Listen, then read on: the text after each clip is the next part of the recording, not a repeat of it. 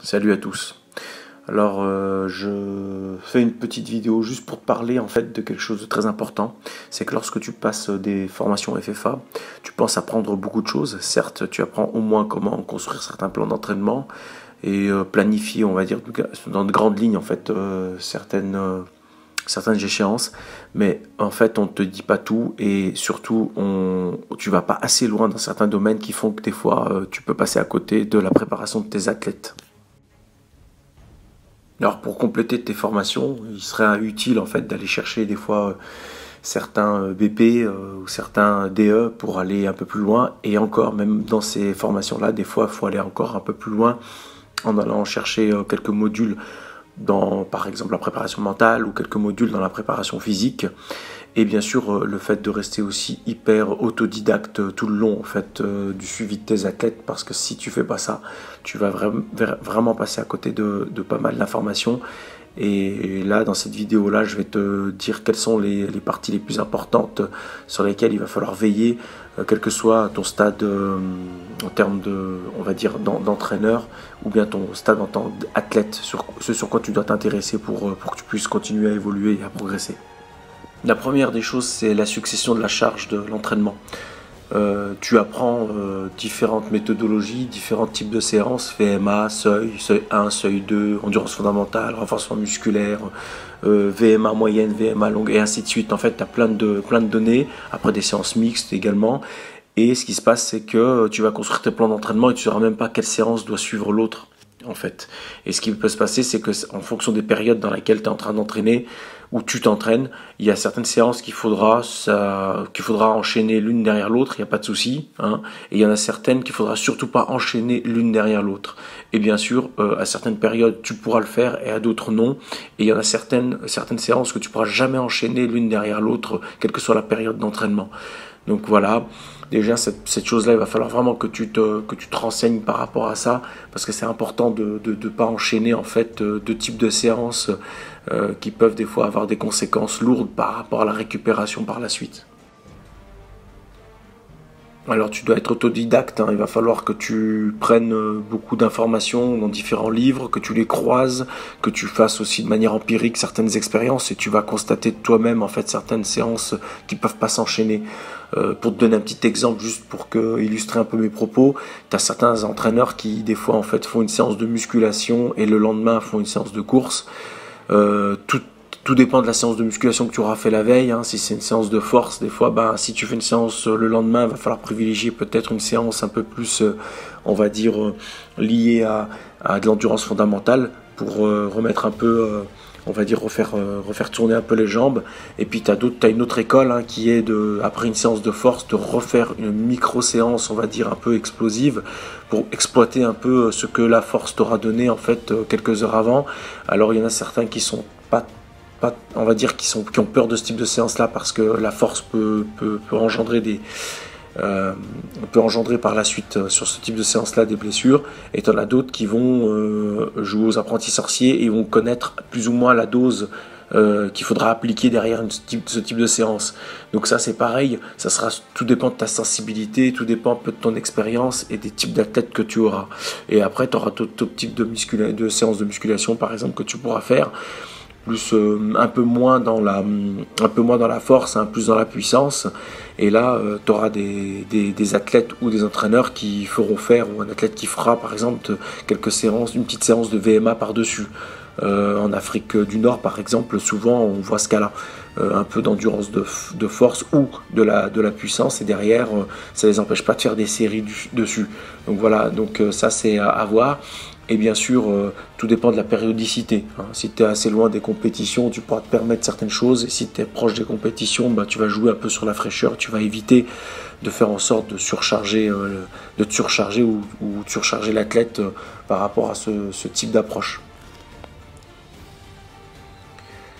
Alors après, c'est le, thème est très important. Ça, ça évoque un peu le cycle et, euh, euh, je viens un peu striker un peu la notion de cycle parce qu'en fait euh, on utilise ça souvent, on utilise ça un peu à toutes les sauces, mais historiquement le cycle on peut entre guillemets l'utiliser à condition que on va dire qu'on respecte plutôt des cycles de travaux avec des phases de récupération, mais qui sont pas forcément liées à cycle de contenu Souvent, on pense que ça y est, quand il change de cycle, on change complètement les contenus ou on les change de manière, euh, en fait, de manière importante, alors qu'au final, on reprend souvent, euh, on reprend souvent euh, dans, comment dire, on enchaîne souvent en fait sur un, cycle de travail entre guillemets quand je dis cycle de travail qui ressemble beaucoup au précédent sauf qu'on change quelques petits paramètres. Et, là on rentre un peu dans ce qu'on appelle la progressivité de la charge d'entraînement et, souvent, quand on rentre justement dans cette progressivité de charge d'entraînement, on s'occupe juste euh, de changer quelques paramètres euh, sur nos séances. Par exemple, quand il y a eu une séance de VMA euh, sur le cycle précédent, bah, quand on en refait une autre dans le cycle suivant, souvent on a changé on a changé quelques paramètres. Alors euh, dans le cycle précédent, on aura changé euh, les paramètres de manière euh, individuelle. Hein. Par exemple, on n'aura joué que sur la récupération ou sur la durée d'effort. Mais quand on change de cycle, souvent on change plusieurs paramètres à la fois pour repartir sur un autre type de travail. Et c'est pour ça que la notion de cycle, elle est à mettre entre guillemets parce que elle était beaucoup plus entre guillemets, elle était beaucoup plus utile quand en, fait euh, elle était exploitée euh, en Europe de, l'Est lorsque souvent en fait euh, les cycles correspondaient à, bah, faut, le dire, hein, à, certains produits que, les athlètes prenaient dans chaque phase pour pouvoir en fait s'entraîner. Donc c'était plus lié au dopage et, non pas forcément au travail. Et c'est pour ça qu'en fait on a gardé en fait euh, le mot cycle, même si euh, nous on l'utilise de manière, euh, on va dire, sportive, mais historiquement les cycles étaient plus liés à certaines périodes dans lesquelles en fait les athlètes se chargeaient. Et bon voilà, c'est pour ça que la notion de cycle, elle, est, on va dire, à prendre avec on va dire avec pincette. ça n'empêche pas que oui, c'est vrai qu'il y a certaines périodes on va travailler un peu différemment, en volume, en intensité. Euh, mais souvent, quand on reprend du recul et qu'on voit l'ensemble des, plans d'entraînement et des séances, souvent c'est, plus ou moins les mêmes séances qui se retrouvent linéairement. Euh, on va dire euh, en fait qui ont une continuité linéaire sauf qu'on modifie deux trois petits paramètres hein. mais l'ensemble des on va dire de la charge d'entraînement et l'ensemble des des, objectifs sont quand même assez assez proches euh, voilà, ben, vous verrez, vous constaterez vous-même avec l'expérience et tu verras que quand tu vas caler des entraînements, que tu vas, tu tu vas enchaîner quelques entraînements en programmation, tu vas t'apercevoir que tu ne changes pas vraiment beaucoup ce que tu abordes. Tu as certaines routines qui vont être là tout le long de ta saison pour travailler. Tu auras juste une dominante à certaines périodes. Voilà, c'est tout. Souvent, on aborde avec toi aussi euh, le point euh, de la récupération. Et euh, dans ce point 3, donc euh, la récupération, souvent on te l'aborde de manière bioénergétique ou musculaire. Donc euh, voilà, on te dit, bon, euh, il te faut un certain nombre d'heures pour que tu aies récupéré, euh, par exemple, sur le plan bioénergétique, ou un certain nombre d'heures pour que tu aies récupéré sur le plan musculaire. Mais ce qu'on ne dit pas, c'est que ces deux paramètres-là sont insuffisants pour, la, pour vraiment déterminer si tu as récupéré ou pas. Il y a ton système endocrinien et ton système nerveux, et là, des fois, en fait, la, la, part en fait de récupération pour ces deux systèmes-là, qui sont hyper connectés en, fait l'un à l'autre, et eh ben des fois, elle peut, elle peut, elle peut être vraiment différente d'un individu à l'autre. Et en plus, ce qu'on ne dit pas, c'est que la récupération, en fait, elle n'est pas linéaire. Par exemple, après une grosse séance vraiment importante, ce qui va se passer, c'est que dans les, euh, dans, dans les euh, dans les, dans les 24 heures qui vont suivre, tu vas récupérer euh, plus ou moins entre 80 et 85% de ce que tu devais récupérer. Et le reste, en fait, tu vas mettre, euh, tu vas mettre 12 heures pour récupérer le reste. Et, et, et, ça, on te le dit pas. Et ce qui se passe, c'est que souvent, en fait, euh, ben, même quand tu sembles avoir récupéré, eh ben, euh, tu as un certain pourcentage qui met beaucoup plus de temps. Donc au départ, ton, organisme récupère rapidement, mais par contre, pour, les, pour la suite, pour la fin, il met beaucoup plus de temps à récupérer les derniers pourcentages. Et donc après, tu as, plusieurs, plusieurs méthodologies hein, pour récupérer un peu de tout ça. Euh, tu as des personnes qui sont dans la récupération passive totale pendant 48 heures. Euh, et puis sinon, tu en as d'autres euh, qui sont plutôt dans une approche un peu plus, on va dire, physiologique et on va dire euh, endocrinienne, c'est-à-dire qu'ils vont profiter euh, après 24 heures de récupération pour se recaler une petite séance, par exemple de renforcement musculaire, pas une séance on va dire spécifique course à pied, mais par exemple une séance de renforcement musculaire, mais à faible intensité, juste pour un peu stimuler le système nerveux et après réutiliser le plateau en fait, parce que grâce à ça tu vas stimuler un peu ton système endocrinien et produire un peu de testostérone et tu vas pouvoir réutiliser un peu ce plateau-là dans, dans, dans les jours qui suivent. Voilà, et, puis pour d'autres raisons, hein, pour des fois un peu recontrôler un peu euh, euh, musculairement si, tout va bien, bah, c'est intéressant des fois de se caler des séances là. Après, si tu peux pas te caler une séance de musculation, tu peux aller te caler une petite séance euh, dans laquelle en fait tu vas recourir un petit peu, pas beaucoup, et refaire quelques lignes droites un peu en, euh, assez, assez vite pour pouvoir un peu stimuler un peu tout ça, mais tu vas vraiment faire une sorte de demi, un tiers de séance ou un quart de séance pour stimuler. Ça peut être intéressant. Et, euh, derrière, euh, profiter un peu de, ça dans les, heures qui ont su pour te relancer une autre séance. Alors en fait, tu vois que j'ai abordé quand même pas mal la musculation dans tout ça. Pourquoi? Parce que euh, ce qui est intéressant avec la, musculation, c'est que tu peux aller chercher euh, à corriger certaines faiblesses, que ce soit euh, sur le plan mécanique, que ce soit aussi sur le plan, on va dire, de ta résistance à l'effort dans certaines parties du corps. Et donc, euh, euh, pour moi, c'est hyper important de, se pencher à la musculation. Alors, dans, nos différentes formations, on aborde ça sous le, sous le biais de la PPG rapidement. On fait un petit peu de travail de foulée, on fait un petit travail de, de chaise, et sur que des escaliers, euh, des petits trucs, des travails de côte. Donc, les travails de côte, c'est intéressant, mais c'est insuffisant si tu veux aller beaucoup plus loin dans le travail musculaire.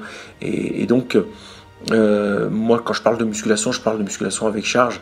Bien sûr, après, selon les la, la, morphologie de chacun, va falloir adapter des fois certaines postures. Et c'est pour ça qu'il ne faut pas écouter un peu, on va dire, euh, certaines personnes qui te parlent de positions euh, parfaites, entre guillemets, ou de certains gestes de la musculation. on a des morphologies tous un peu différentes et on a certaines, certaines aptitudes hum, par rapport à la souplesse, par rapport à ces segments qui font qu'on ne on va pas avoir un exercice parfait, par exemple, au squat. Tu vas, avoir un, tu vas, tu vas pouvoir faire du squat et tu vas devoir corriger en fait ton squat pour pas te blesser, pas avoir le squat parfait, on s'en fout du squat parfait, mais c'est plutôt avoir la position, les postures qui ne vont pas te blesser.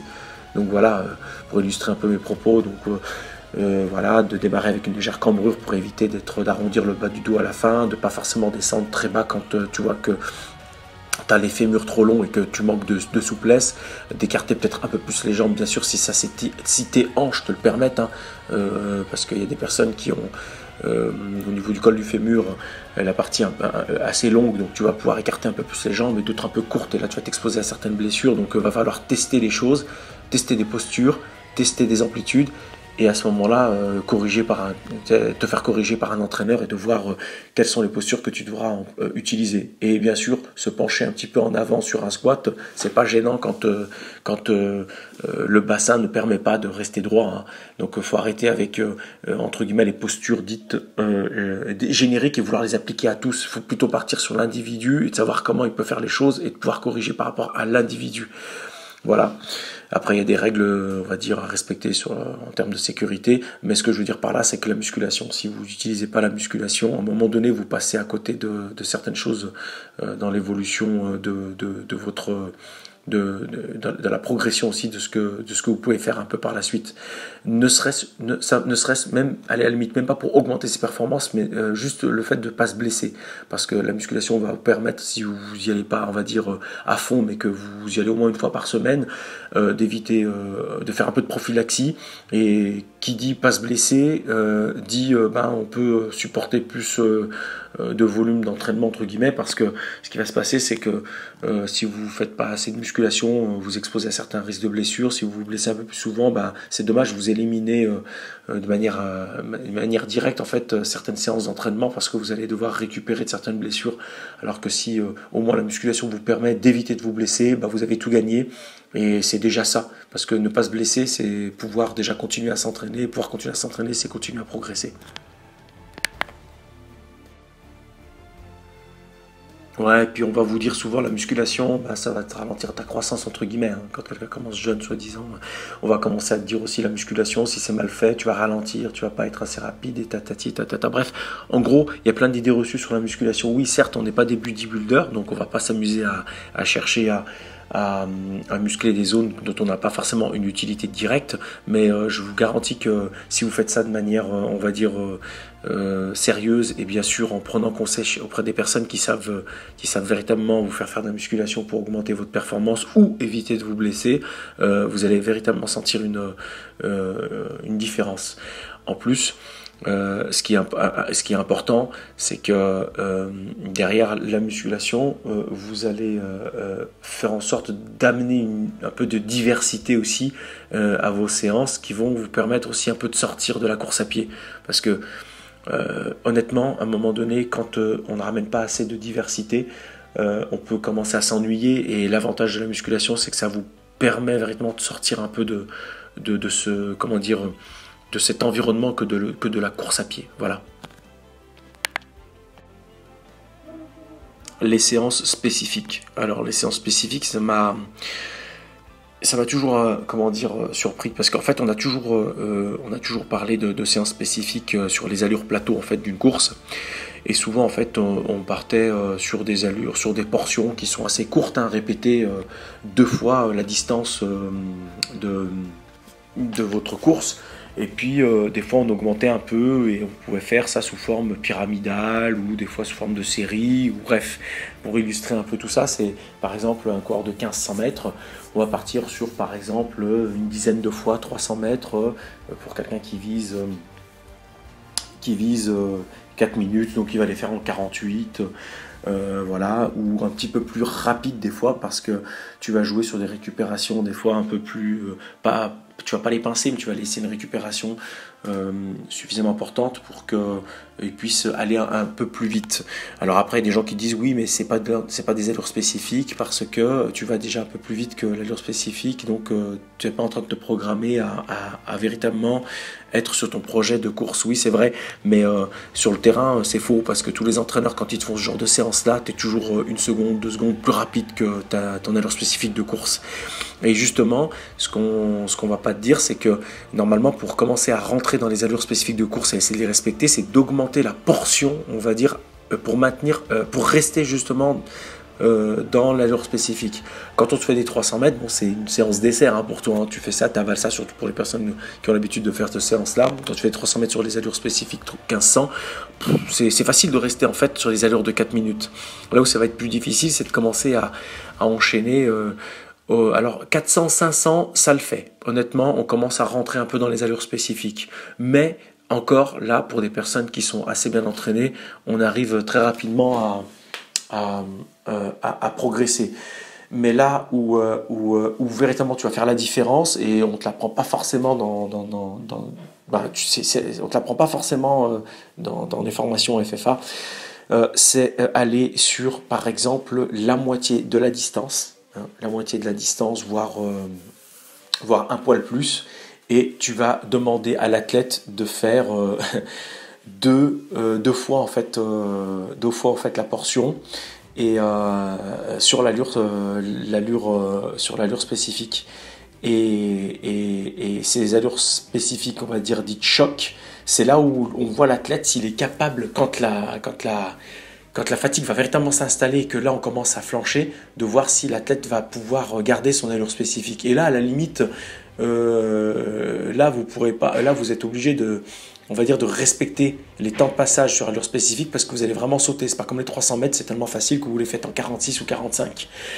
Et donc là, euh, quand par exemple tu prends un athlète et que tu lui dis, bah, tu vas me faire deux fois 800 mètres euh, sur tes allures, sur les bases de, de ton, objectif à 4 minutes au 1500 et que, tu vas faire une récupération assez longue entre tes deux 800 mètres, hein, tu vas faire peut-être 4 minutes de récupération et que derrière tu vas lui balancer un 400 mètres ou un 500 mètres euh, le plus vite possible pour travailler sa vitesse terminale. et eh ben euh, ça par exemple on va va pas forcément euh, euh, t'orienter vers ce type de séance là alors que c'est ce type de séance là qui vont être à moyen terme les plus importantes.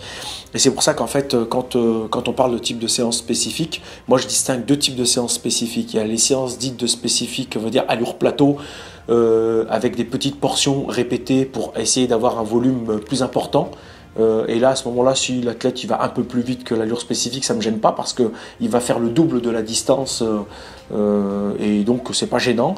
Et, après, tu peux passer, progresser. Après avoir bien, entraîné les athlètes sur, ce type de travail-là, et en jonglant avec, euh, euh, euh, avant l'arrivée des compétitions, tu peux commencer à mettre en place des, ce qu'on appelle un peu des spécifiques avec des portions plus longues qui vont être la moitié, voire un poil plus long que, que l'allure. Que, que, la moitié de la voilà que un peu plus long que la moitié de, de la distance et, et, de le faire travailler sur ça parce que là tu vas voir euh, ça va pas être la même hein. tu vas voir le deuxième 800 mètres il va, il va être sur les allures que tu vas lui demander et s'il l'est pas c'est qu'il vaut pas en fait encore le, euh, le challenge que tu lui as lancé voilà voilà donc euh, très important de, de, de vraiment prendre en compte ça pour véritablement se mettre sur des allures spécifiques qui vont correspondre au travail que tu veux que tu veux faire ou que tu veux vouloir faire à ton athlète Là, je fais une petite marche arrière, mais rien du tout. C'est juste pour aller un peu plus dans le détail de ce que j'appelle le plateau de testo. Alors en fait, euh, ce qui se passe, c'est que lorsque quelqu'un euh, a l'habitude, par exemple, de, alors ça, faut le faire quand quelqu'un a vraiment l'habitude de, faire de la musculation. Si tu n'as pas l'habitude de faire de la musculation, ça sert à rien, tu vas le faire, tu vas t'exploser les pattes avant de, avant d'aller sur une compétition, ça sert à rien. Mais si tu as l'habitude de faire de la musculation toute l'année, il y a un truc que tu peux faire qui peut être hyper intéressant. C'est, hum, on va dire, euh, la veille de ta course et, et, je peux te garantir que ça marche. Hein. Moi, je l'ai, déjà fait faire sur certains athlètes. Moi, j'ai déjà fait faire aussi sur, j'ai déjà fait moi-même quand euh, avant de, faire d'autres, euh, avant la veille de, certains matchs de foot par exemple ou, euh, de certaines, courses. Et, là vous allez voir, c'est, fabuleux. C'est de faire une, séance de musculation dite avortée. on va dire la séance de musculation, vous, vous, arrêtez au moment où vous sentez que waouh le gaz commence à revenir, commence à arriver. Et faites une, séance de musculation par exemple qui peut correspondre à un tiers de ce que, de ce que tu aurais fait quand tu aurais fait une séance de force, par exemple, euh, et tu fais des lignes droites par-dessus. Hein. Tu fais de la, un peu de, ligne droite, un peu appuyée, un peu vite. Et euh, en fait, ce qui va se passer, c'est que tu vas, tu, comme tu t'arrêtes au moment où ton corps est en train de libérer pas mal de testo euh, pour pouvoir préparer la suite, en fait, tu vas booster de manière indirecte en fait ton système endocrinien qui va t'envoyer ce qu'il faut. Euh, alors après ce type de séance-là, souvent, euh, si tu le fais la veille d'une course et que, et que tu le fais en fin d'après-midi ou en soirée, ça risque de t'exciter un peu. Hein. Tu, vas voir, tu auras peut-être un peu de mal à dormir, mais c'est bon signe quelque part, c'est que ça y est, le système nerveux est en branle. Et le lendemain, si pour ta course, généralement, tu vas avoir des réactions hyper intéressantes. Donc voilà, euh, ce plateau-là, il est, euh, euh, tu peux le garder pendant allez, 24 heures à 48 heures, mais moi je te conseille plutôt de le faire la veille. Si tu as l'habitude de faire de la musculation, fais-le plutôt, la veille. Et tu, tu fais ça avec des lignes droites et tu verras que ça peut le faire. Si tu fais pas de la musculation toute l'année, ça sert à rien. Tu vas faire ça, tu vas te mettre des courbatures et le lendemain tu vas pas avancer. Ah oui, il y a un truc qui me fait rire aussi, c'est que souvent en fait sur ce genre de formation, et pas que celle-là, hein, même dans certaines euh, formations euh, comme le DES, quand des fois tu as des interlocuteurs qui, euh, qui font un peu preuve, moi je, pense de, je, pense de mauvaise foi, c'est qu'on parle de, Moi je te parler en fait des compléments alimentaires. En fait souvent quand tu parles de compléments alimentaires, ils vont te balancer l'argument vraiment qui, qui vaut rien, quoi. C'est c'est entre guillemets, ils te disent que ouais, mais quand tu commences sur les compléments alimentaires, c'est que tu commences à avoir entre guillemets un comportement, euh, euh, on va dire t'amenant, t'amenant au dopage. Alors que ça n'a rien à voir. Quand je parle de compléments alimentaires, il faut bien distinguer plusieurs leviers de, de, compléments alimentaires. On peut être sur le complément alimentaire quand on va chercher en naturopathie certains éléments qui te sont importants et nécessaires pour déjà bien faire fonctionner ton corps. Et tu sais qu'avec le sport, tu vas devoir, tu vas avoir à éliminer beaucoup de ces éléments-là. Et là, on est dans la supplémentation alimentaire qui n'est pas forcément liée à, ce qu'on peut, entre guillemets, penser au fitness. Mais euh, après, si pour aller plus loin, tu peux aussi aller vers, euh, dans le domaine, euh, entre guillemets, du fitness. Pourquoi? Parce que ces gens-là, ils sont pas plus cons que les autres. Hein. Et d'ailleurs, ils ont fait avancer beaucoup le sport dans beaucoup de dans beaucoup de, domaines, hein, les bodybuilders, si tu veux voir comment rééduquer, on va dire, certaines parties de, de, de tes muscles, eh ben, t'inquiète pas qu'ils pourront t'en apprendre beaucoup plus que certains médecins. Donc arrêtez d'être dans le dans la guerre de chapelle et de croire que les, que les autres, entre guillemets, ne peuvent pas t'apprendre des choses. Et d'ailleurs, euh, chez, euh, chez justement les personnes qui sont beaucoup orientées euh, musculation, tu verras que tu peux apprendre beaucoup de choses sur ta récupération sportive et endocrinienne. donc d'ailleurs, là par exemple, si tu, te, si tu te focalises sur les compléments alimentaires, sur le plan bioénergétique, tu vois, tu as certains éléments qu'il faudra, qu'il faudra essayer de te pencher dessus, étudier, de voir et d'essayer de voir ce que ça peut te faire. Après, tu as aussi euh, euh, certains d'autres éléments qui peuvent être pas intéressants pour, la, pour tes muscles, la récupération musculaire. Peut-être de la whey pour certains, euh, peut-être pas forcément de la whey, mais juste des BCA pour d'autres. Hein. les BCA, pour certaines personnes qui font des trails, ils ont expérimenté ça et je peux vous garantir que même sur des séances longues euh, et euh, euh, sur certaines compétitions ça peut te préserver quand même de, pas mal de dégâts causés par la par par le volume en fait de travail et la casse que peuvent provoquer en fait le trail. Et bien sûr après il y a des protocoles hein. il y a la manière d'utiliser les BCA par exemple à l'entraînement ou en compétition il y a un protocole précis pour pour optimiser en fait son utilisation Bref, après, tu as d'autres compléments alimentaires qui sont plutôt pour préserver tes, articulations. Donc, euh, euh, la glucosamine, hein, sulfate par exemple, tu peux, consommer aussi euh, du silicium organique. après, on a ce qu'on est un peu sur les, compléments alimentaires plutôt type épices, hein. le curcuma, poivre noir, pour lutter un peu contre certaines inflammations. bref, après, on est plutôt sur de la, de, la, supplémentation type un peu du fonctionnement du corps, hein, les cocktails de vitamines, euh, se préserver aussi de certaines, de certaines, euh, certaines infections aussi grâce au zinc, la vitamine C qui peut être hyper intéressante aussi pour le système immunitaire, pour éviter de tomber malade au moment où tu es en forme, parce que ça c'est vraiment con. Hein. Des fois tu arrives, tu t'entraînes toute l'année, ou tu t'entraînes une bonne partie de la saison, là tu arrives, les échéances sont là, et là tu chopes, euh, tu chopes ce qu'il faut pas choper. Pourquoi? Parce que bon, on t'a dit, on t'a dit qu'il faut pas utiliser de compléments alimentaires. Voilà, nourris-toi bien, euh, mange ce qu'il faut et terminé. Non, non, non, non. Euh, moi, je peux vous garantir que quand vous entraînez beaucoup, euh, parce que moi, je parle pas de quelqu'un qui s'entraîne pour avoir la frite, donc il va pas forcément dépasser certaines limites, où lui, son système immunitaire va rester quand même suffisamment, on va dire, boosté. Mais quelqu'un qui fait du haut niveau, quelqu'un qui s'entraîne beaucoup, je peux vous garantir que votre système immunitaire, il prend une claque. Et vous avez intérêt à, faire en sorte de, le booster un petit coup pour, pour éviter bah, de tout choper avant, de, euh, avant vos échéances.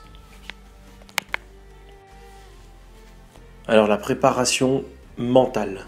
Je vous parlais de la préparation mentale, mais rapide.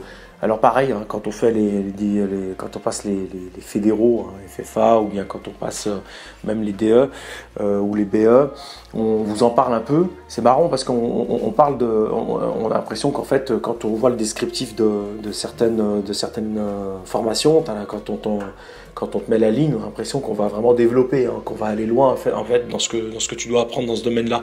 Alors moi je dis pas qu'il faut une préparation, pas on va dire un module de préparation mentale intégrale, parce que là il te faut plutôt, euh, il faut plutôt pratiquement une année euh, d'études pour véritablement euh, apprendre et aller beaucoup plus loin dans, dans ce domaine-là, et puis même continuer à être autodidacte avec différentes méthodes qui existent, et puis te, ben, te documenter, acheter des livres, et puis, et puis mettre en pratique. Mais au moins, euh, au lieu de faire des trucs où on était assis, où on discutait de ça, juste on se posait des questions et, c'était un peu comme une sorte de table de, de, table ronde où tout le monde racontait sa live, euh, parce que c'était souvent ce qui se passait. Moi, je, veux, moi, j'attendais quand même à avoir quelques outils. Et, euh, et il y a deux, deux peut-être choses déjà importantes de base déjà à faire, je vous les dire, et qui va véritablement euh, faire passer un petit, palier, que ce soit vous-même en tant que pratiquant, mais aussi si vous êtes entraîneur et que vous voulez, et que vous voulez aider vos athlètes, c'est de déterminer avec eux véritablement en fait quelle est leur motivation euh, et, de partir avec eux sur, euh, sur euh, plusieurs strates, plusieurs questions et déterminer avec eux exactement quelle est leur motivation parce que c'est grâce à ça que vous allez commencer à voir là où est leur faiblesse par rapport à leur motivation. Et là, vous avez plusieurs outils, vous verrez que vous pouvez utiliser pour pouvoir le faire. Je peux vous en, je peux vous en envoyer une si vous me le demandez ou si vous vous donner quelques, mais commentez à ce moment-là et, et je peux vous donner quelques, quelques petites pistes. Toujours en préparation mentale, il y a aussi autre chose qui est important, c'est qu'en en dehors de la motivation, il y a aussi le fait de bien déterminer les objectifs, parce que souvent, euh, euh, on va dire, il y a, il y a 90% euh, du travail qui va être fait sur les objectifs que, tu auras en tant qu'athlète ou, que ton athlète aura si tu es entraîneur. Et si tu détermines bien ça et que, et que tu fais le nécessaire euh, en, regardant quels sont les objectifs à court terme, à moyen terme et à long terme, et de travailler dessus et te donner en fait ce qu'on appelle les objectifs de, de moyens en fait, euh, tu, vas, tu vas voir en fait la différence. Euh, pour illustrer un peu tout ça, c'est par exemple, admettons que bah, dans un an, ton athlète il, décide, bah, par exemple, de faire en résultat, 4 euh, minutes au 1500, hein, tu un cadet, il fait 4 minutes au 1500, donc ça qualifiera au championnat de France. Donc son objectif de, moyen, de résultat, c'est de se qualifier au championnat de France. Et ben, pendant un an, euh, tu vas pas attendre juste de faire les. Euh, tu vas pas juste attendre de ce qui se qualifie au championnat de France. Non. Après, tu vas déterminer avec lui, peut-être pour continuer à le garder en fait motivé pour son objectif, trois ou quatre, on va dire, objectifs de moyens, donc les moyens qu'il va se donner. Donc toi, tu vas déterminer en tant qu'entraîneur ou en tant qu'athlète, tu vas déterminer euh, à quel, euh, tu vas jalonner. D'ici deux mois, je vais être capable de faire ça. D'ici deux mois, d'ici six mois, je vais être capable de faire ça. D'ici neuf mois, je vais être capable de faire ça. Quelque chose de chiffré et, euh, qui sera peut-être mesurable par une séance, par une compétition, et que pour toi, ça soit des objectifs intermédiaires, mais qui vont servir d'objectifs de moyens pour voir si tu arrives à ton objectif. Comme ça, au moins, là, tu prendras du recul. Si euh, tu arrives à ton objectif, tu vas pouvoir te dire que l'avantage euh, l'avantage d'avoir travaillé sur des objectifs intermédiaires qui t'ont servi d'objectifs de moyens, t'ont permis d'arriver à ton objectif. Et si euh, tu vois que t'es pas arrivé à ton, objectif, mais pas de beaucoup, mais que finalement tout ce que tu as fait en objectif de moyens t'a fait progresser malgré tout, au moins tu, ne pars pas en fait complètement déçu parce que tu vas voir que finalement tu as mis les moyens pour pouvoir y arriver et que même en mettant les moyens, tu n'y es pas arrivé. Donc pas à, être déçu de tout ce que tu auras mis en place parce que euh, tu, as, tu as quand même progressé dans certaines strates que tu t'es euh, t'es fixé et dans certains domaines que tu t'es fixé. Et après, je vais, je vais conclure avec euh, aussi tout ce qui est, on va dire, travail technique. Bon, travail technique, ça va encore dans nos formations. On, nous, on, nous, bassine quand même beaucoup avec ça. Donc, on nous, on nous fait faire beaucoup ça, il n'y a pas de souci. Les gammes attelées et tout le reste. La seule chose qu'il y a, c'est que euh, souvent, là c'est plutôt un conseil, on va dire, dit général. Il y a certains entraîneurs, certains athlètes qui prennent ça un peu au-dessus de la jambe, c'est-à-dire qu'ils se disent bon, on y a appris, on le fait, on le fait pas. Donc euh, bon, les gammes euh, sont à peine utilisées pour finir d'échauffer après un footing, d'échauffement avant une séance, et c'est pas pas la seule utilité. Donc important peut-être que de, vraiment vous rendre compte que et puis que aussi dans les formations qu'on assiste beaucoup, que les gammes attelées sont vraiment, sont vraiment fondamentales pour pouvoir euh, améliorer sa foulée, euh, avoir une bonne projection du genou, avoir des appuis, euh, être, avoir la fréquence qu'il faut aussi et, pas tout miser sur l'amplitude. Et bien sûr les conseils liés à quand la fatigue s'installe, comment je transcende ma foulée pour pouvoir rester efficace. Bref, il y a plein de petites choses, plein de petites notions qui sont autour de la technique de course qui ne sont pas forcément abordées. Et puis euh, la technique de course, être super parfait euh, en technique de course euh, lorsque on est frais, c'est une chose, mais pouvoir être parfait, on va dire techniquement, lorsque la fatigue est là, c'en est une autre. Et donc peut-être ce qui peut être judicieux, c'est de pouvoir aussi revenir sur ce qui est, ce vraiment les, fondamentaux de, pouvoir rester le plus le plus solide possible, euh, non pas grâce qu'à la technique de course, mais aussi grâce à tout le travail de gainage qui va éviter les déformations pour pouvoir maintenir sa technique de course. Parce que souvent, quelqu'un se voit beau au début de séance, toute l'année, il fait des gammes attelées, puis sa ligne droite, elle est pourrie, quoi. Parce que son corps, il part dans tous les sens. Pourquoi? Pas parce qu'il n'a pas une bonne technique de course, hein, mais c'est parce que le mec, il a plein d'abdos, il n'a pas de lombaire, il n'a rien du tout, il n'y a rien qui tient. Et donc, euh, ne pas dissocier souvent le travail de gainage avec la, technique de course, parce que euh, les, euh, les, éléments se complètent et, c'est important de pouvoir, de pouvoir faire en sorte que dans la, dans, la tête de chacun, que ces deux éléments-là sont, sont, communs. Et donc tout le travail de proprioception, bien sûr, qui, euh, qui, gravite autour de, tout ça. Quoi. La technique de course sans, euh, sans avoir euh, on va dire, des qualités de gainage importantes, lorsque la fatigue est installée, ben, elle ne sert à rien. Donc voilà, autant pas en faire, entre guillemets, je dis ça, mais faut, faut en faire. Hein. Mais je disais, voilà, il faut vraiment faire en sorte que, que tu sois le plus gainé possible aussi, que tu aies un bon travail à ce niveau-là, parce que sinon, même si tu es super en technique, tu pourras jamais exploiter ça lorsque la fatigue va s'installer. Ouais, pour conclure par rapport à la technique de course, euh, ouais, j'ai vu quelques petites vidéos qui tournaient là de 2 minutes 30, 1 minute 30, 3 minutes où on vous donnait deux exercices pour améliorer votre technique de course. Euh, deux ou trois exercices rapidement, vite fait, avec un peu de musique, un petit peu de montage. Euh, mais si vous voulez, et avec je sais pas combien de millions de vues et je sais pas combien de likes, moi, si vous voulez faire ce type de séance là, libre à vous, mais vous allez voir que vous allez pas forcément euh, hyper progressé. Donc euh, aller un peu plus loin parce que c'est pas euh, deux trois exercices que vous allez voir chez ces gens-là qui ont ben, qui, qui, sont hyper bien on va dire référencés que vous allez vraiment avancer dans ce domaine-là. Il faut aller beaucoup plus loin, améliorer sa foulée, c'est pas que la technique, hein, comme je vous ai dit tout à l'heure, c'est la technique, c'est un renforcement, un renforcement musculaire assez spécifique, c'est plusieurs exercices de gamme technique, c'est aussi un travail de haie, bref, euh, c'est beaucoup plus complexe que ce qu'on veut vous vendre. Bon, bah, en conclusion, euh, moi je vous invite à, toujours vous former, à être autodidacte, à part aussi prendre euh, pour argent comptant tout ce qu'on vous dit, et pas de vous arrêter sur les idées reçues des fois qu'on peut avoir sur différents domaines que sont par exemple le complément alimentaire, le renforcement musculaire par exemple, pour citer que ça. aller beaucoup plus loin et, et euh, ben voilà, je vous invite à, partager, à liker si vous avez aimé cette vidéo et n'hésitez pas à vous, à vous abonner. À bientôt